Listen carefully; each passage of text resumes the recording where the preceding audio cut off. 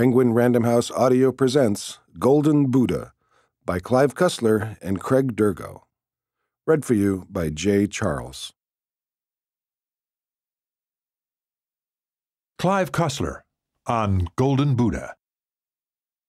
Hello, my name is Clive Cussler.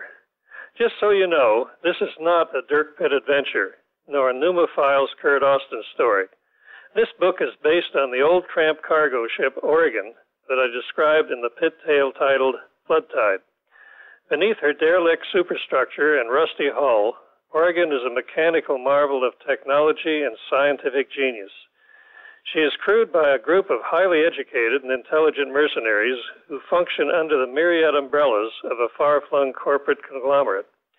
They contract with governments, corporations, and private interests around the world to fight corruption and challenge the sinister threats of rogue villains in the exotic ports of the seven seas. Craig Dirgo and I worked together to create an entirely new series of adventures with a cast of characters unlike any ever seen before. I sincerely hope you will find it an enjoyable departure as well as a fun read. Prelude March 31, 1959. The flowers surrounding the summer palace of Norbulingka were closed, but ready to bloom. The park-like setting of the complex was beautiful. High stone walls surrounded it. Within the walls were trees and lush gardens, and in the center was a smaller, yellow wall, through which only the Dalai Lama, his advisers, and a few select monks passed. Here were tranquil pools, the home of the Dalai Lama, and a temple for prayer. It was a sea of order and substance centered in a country of chaos. Not far away, perched on the side of a hill, was the imposing winter palace of Potala. The massive structure seemed to step down the hillside. Potala contained over 1,000 rooms, was populated by hundreds of monks, and dated from centuries before. There was an imposing orderliness to the building. Stone steps led from the mid-levels of the seven-story palace in an orderly zigzag downward and then stopped at a gigantic block stone wall that formed the base of the behemoth. The precisely laid stones rose nearly 80 feet into the air. At the base was a flat stretch of land where tens of thousands of Tibetans were assembled. The people, as well as another large group at Norbulingka, had come to protect their spiritual leader. Unlike the hated Chinese who occupied their country, the peasants carried not rifles, but knives and bows.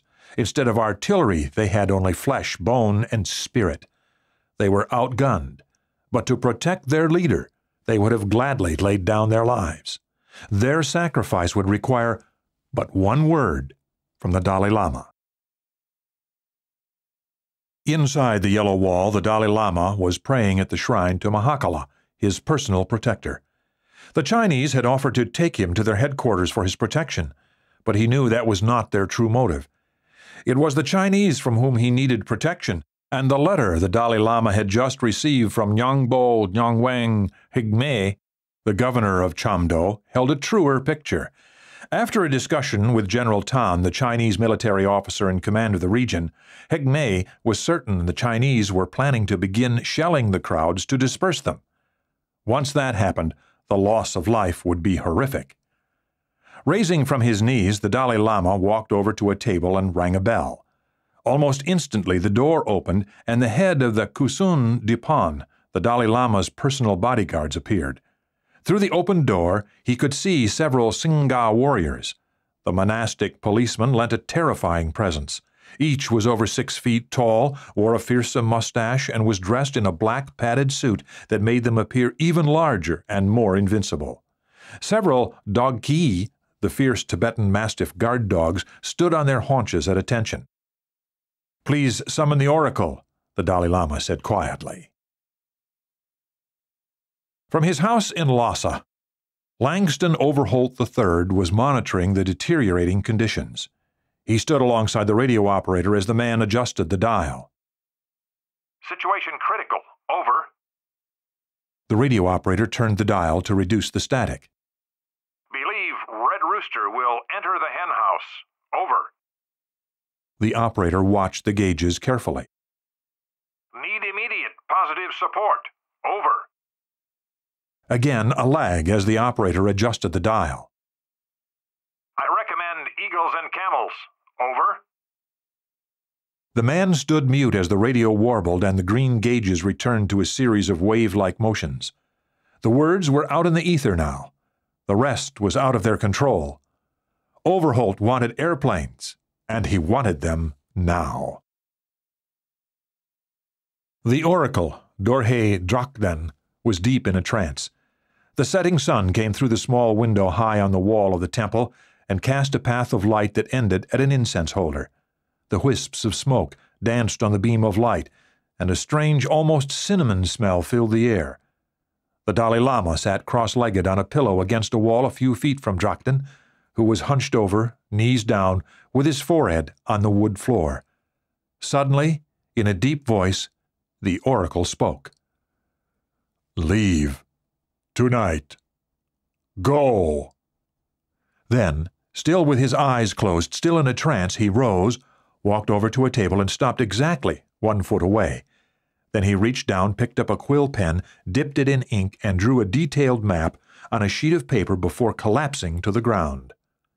The Dalai Lama rushed to the oracle's side, lifted his head, and patted his cheek. Slowly the man began to awaken. After sliding a pillow under his head, the Dalai Lama rose and poured a cup of water from an earthenware pitcher.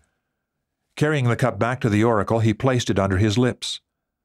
Sip, Dorje, he said quietly.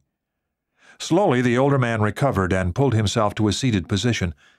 As soon as the Dalai Lama was sure the oracle was on the mend, he walked over to the table and stared at the ink drawing. It was a detailed map showing his escape route from Lhasa to the Indian border. Overholt had been born into his career.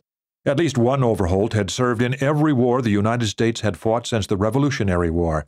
His grandfather had been a spy in the Civil War, his father during World War I, and Langston III had served in the OSS in World War II before switching to the CIA when it had been formed in 1947. Overholt was now 33, with a 15-year history of espionage. In all that time, Overholt had never seen a situation quite this ominous. This was not a king or a queen in peril, not a pontiff or a dictator. This was the head of a religion, a man who was a god king, a deity, a leader that traced his lineage back to AD 1351. If something did not happen quickly, the communist scourge would soon be taking him prisoner. The human chess match would be over. In Mandalay, Burma, Overholt's message was received and forwarded to Saigon, where it was transferred to Manila, then over a secure underwater cable to Long Beach, California, then on to Washington, D.C. As the situation in Tibet continued to deteriorate, the CIA started to assemble a force in Burma. The group was not large enough to defeat the Chinese, just large enough to slow them down until more heavily armed ground troops could be brought to bear. Disguised as a front company named Himalayan Air Services, the armada consisted of 14 C 47s, 10 that could drop supplies, and 4 that had just been converted to first generation gunships. This force was augmented with six F 86 fighters and a lone, fresh off the assembly line Boeing B 52 heavy bomber. Allen Dulles sat in the Oval Office, puffing on his pipe and pointing out the situation to President Eisenhower. Then the CIA director sat back and let the president think for a moment. Several minutes passed in silence. Mr. President, he said at last, the CIA took the liberty of arranging a first strike force in Burma. If you say the word, they'll be airborne in an hour. Since his election in 1952, Eisenhower had faced the McCarthy hearings, the first advisers into Vietnam, and a heart attack. He'd had to order 10,000 troops to Little Rock, Arkansas to enforce integration, witness the Soviets taking the lead in space, and have his vice president stoned by hostile crowds in Latin America. Now, Cuba had a communist leader only 90 miles from U.S. soil. He was weary. No, Allen, he said quietly after a pause. I learned as a general that you have to know how to pick your fights. We need to stay clear of this Tibet situation right now. Dulles rose and shook Eisenhower's hand. I'll notify my men, he said. We hope you enjoyed this preview. To continue listening to this audiobook on Google Play Books, use the link in the video description.